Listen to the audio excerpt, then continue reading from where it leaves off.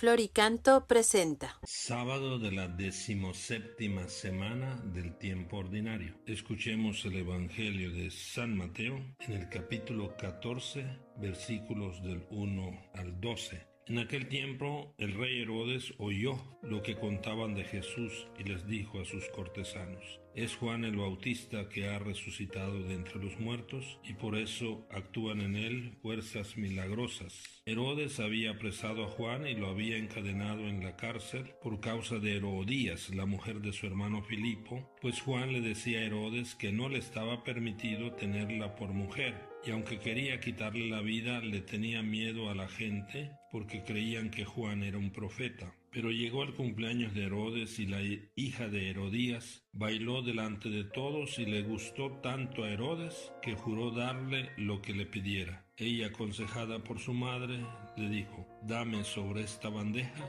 la cabeza de Juan el Bautista. El rey se entristeció, pero a causa de su juramento y por no quedar mal con los invitados, ordenó que se la dieran. Y entonces mandó degollar a Juan en la cárcel. Trajeron pues la cabeza en una bandeja, se la entregaron a la joven y ella se la llevó a su madre. Después vinieron los discípulos de Juan, recogieron el cuerpo, lo sepultaron y luego fueron a avisarle a Jesús. Palabra del Señor. Mis queridos hermanos, que no seamos los nuevos Herodes, esclavos del poder, del placer y del orgullo. A todos nos cuesta que otra persona cuestione nuestra conducta y lo más fácil en esos casos es quitar de en medio a quien nos estorba. Esto lo vivimos en nuestro mundo y quitarlo del medio ya sea abiertamente o de un modo más sutil, deslegitimando públicamente, por ejemplo, a quien nos dice algo que no nos viene bien Hagámonos esta pregunta. ¿Dejamos que la palabra de Jesús cuestione nuestra vida? No perdamos la cabeza como Herodes